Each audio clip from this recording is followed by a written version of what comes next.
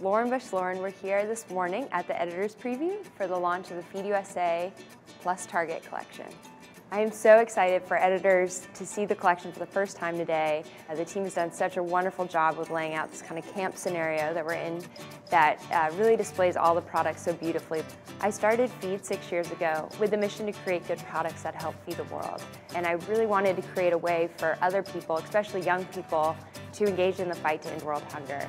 And that's why I started Feed and why I designed the first feed bag.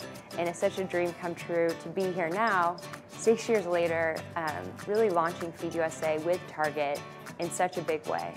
This is Target's most extensive collaboration with Give Back products. There's a potential to give up to 10 million meals to hungry Americans, so it's really huge and Feed is thrilled to partner with Target on this initiative. It was so great to work with the Target design team to dream up all these different products.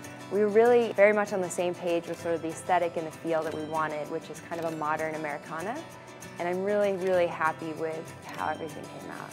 These wonderful bracelets, they come in a set of three, and it's a denim, a wood, and a suede. We wanted to use sort of natural materials, again, that felt very Americana.